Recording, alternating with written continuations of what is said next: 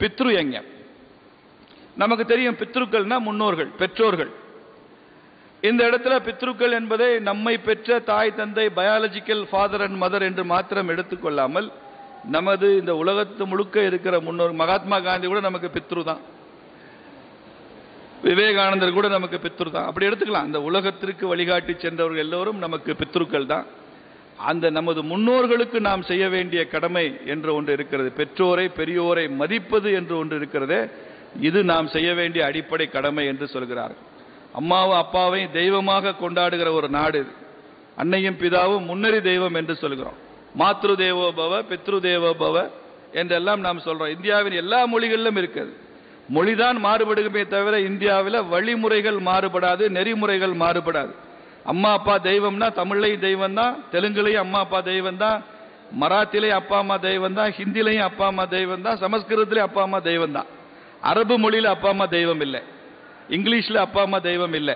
ஏனென்றால் அவையெல்லாம் வேற வகையான சிந்தனை வேற தியாலஜி.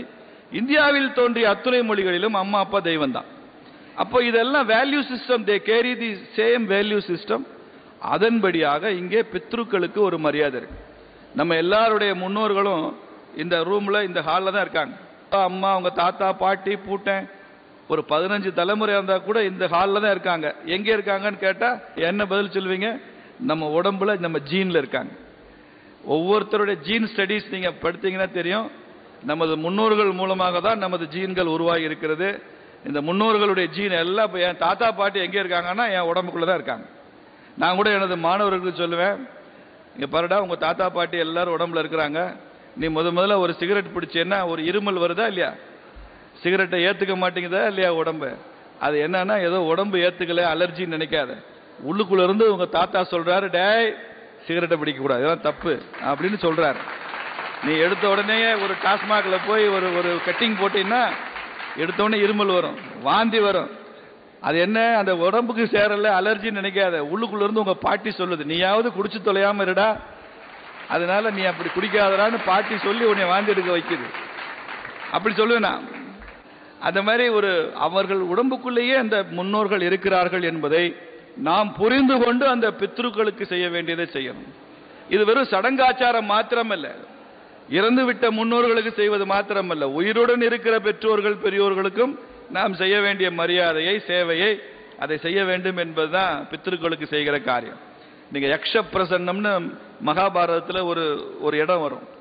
யக்ஷன் அந்த நச்சு பொய்கையில் தண்ணீர் குடித்து தர்மனை தவிர நான்கு தம்பிகளும் செத்து போகிறாங்க பீமன் செத்து போகிறான் அர்ஜுனன் செத்து போகிறான் விஷ தண்ணீரை குடிச்சு.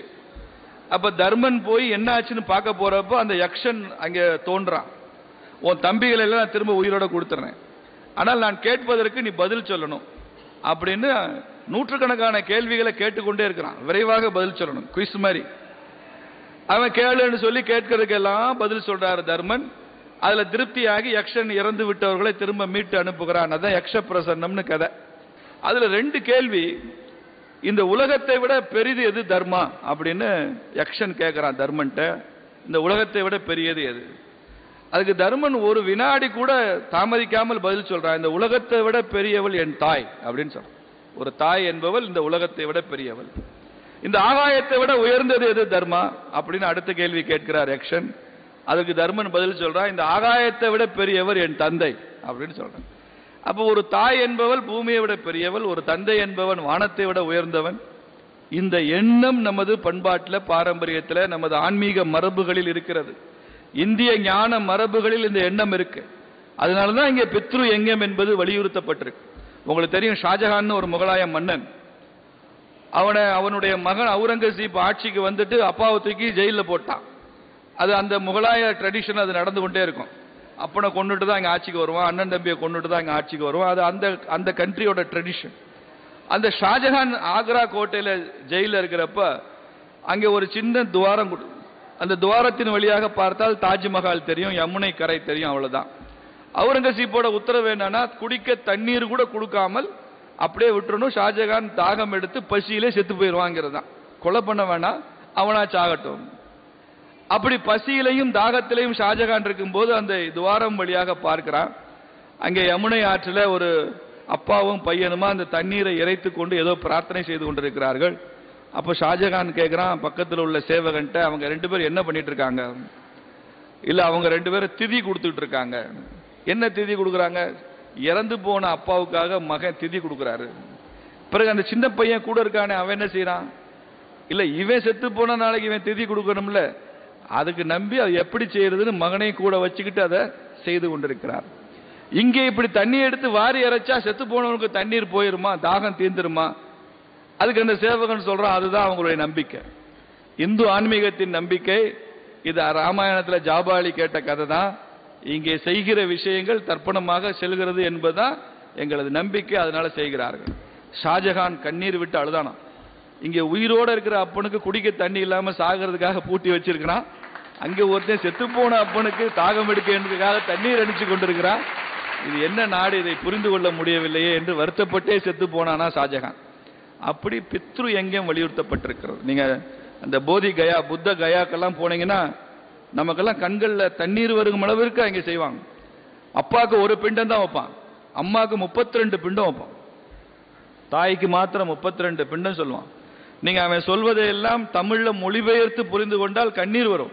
என்னை வயிற்றில் சுமந்தாயே அதற்காக எனக்கு பால் கொடுத்தாயே அதற்காக எனக்கு நோயுற்ற போது நீ பத்தியம் இருந்தாயே அதற்காக இப்படி சொல்லி சொல்லி ஒவ்வொரு பிண்டமாக வைக்கணும் அப்படின்னு சொல்லி அதற்கென்றே சில மந்திரங்கள்லாம் சொல்லி சொல்லுவாங்க. அந்த அளவிற்கு பித்ரு காரியங்கள் முன்னோர்கள் பெற்றோர்கள் பெரியோர்களை மதிக்க வேண்டும் என்பது உங்க ஆப்ஷன் இல்லைங்க. நமக்கு அது மேண்டேட்ரி அது கட்டாயமாக வலியுறுத்தப்பட்டிருக்கிறது இந்து ஆன்மீகத்தில். அதை செய்ய